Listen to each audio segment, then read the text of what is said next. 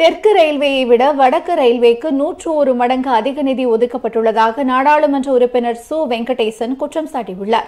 இது தொடர்பாக வெங்கடேசன் எம்பி வெளியிட்டுள்ள அறிக்கையில் தமிழகம் கேரளா உள்ளிட்ட தெற்கு ரயில்வே பகுதியில் புதிய வழித்தட திட்டங்களுக்கு வெறும் 59 கோடி ரூபாய் மட்டுமே நிதிநிலை அறிக்கையில் ஒதுக்கப்பட்டுள்ளதாக கூறியுள்ளார்.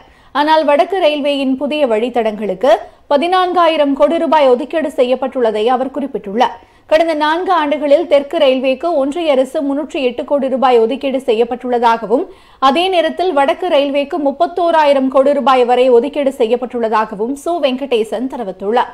இந்த உண்மையை ஏற்றுக்கொண்டு தமிழ்நாட்டிற்கும் தெற்கு ரயில்வேக்கும் போதிய நிதி ஒதுக்கி புதிய வழித்தட திட்டங்களை விரைவுபடுத்த வேண்டும் என்று ஒன்றிய ரயில்வே அமைச்சகத்துக்கு நாடாளுமன்ற உறுப்பினர் சு. வெங்கடேசன் வலியுறுத்தியுள்ளார். அனைத்து ஒன்றிய பல்கலைக்கழகங்களிலும் சியுஇடி பொது நுழைவுத் தேர்வு மூலம் மாணவர் சேர்க்கை நடத்த முடிவு செய்துள்ள ஒன்றிய அரசு இந்த ஆண்டே இதனை அறிமுகப்படுத்தவும் திட்டமிட்டுள்ளது. ஒன்றிய பல்கலைக்கழகங்கள் சிலவற்றில் பட்ட மேற்படிப்பு மாணவர் சேர்க்கைக்கு பொது நுழைவுத் தேர்வு நடத்தப்படுகிறது. பட்டப்படிப்பில் சேர பிளஸ் டூ கட் ஆஃப் மதிப்பெண் அடிப்படையில் மாணவர் சேர்க்கை நடத்தப்பட்டு வருகிறது. இதனை மாற்றி நாடு முழுவதும் உள்ள அனைத்து மத்திய பல்கலைக்கழகங்களுக்கும் ஒரே நுழைவுத் தேர்வை கொண்டுவர ஒன்றிய அரசு திட்டமிட்டுள்ளது. சியுஇடி என்கிற பெயரில் தேசிய தேர்வு முகமை நடத்தும் இந்த தேர்வில் வெற்றி பெற்றால் மட்டுமே ஒன்றிய பல்கலைக்கழகங்களில் மாணவர்கள் சேர முடியும்.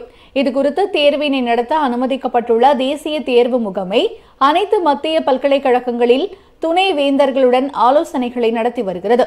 முக்கிய பல்கலைக்கழகங்களான ஜவஹர்லால் நேரு பல்கலைக்கழகம் உள்ளிட்ட டெல்லி பல்கலைக்கழகங்கள் கடந்த வாரம் இதற்கு ஒப்புதல் அளித்துள்ளன என்பது குறிப்பிடத்தக்கது.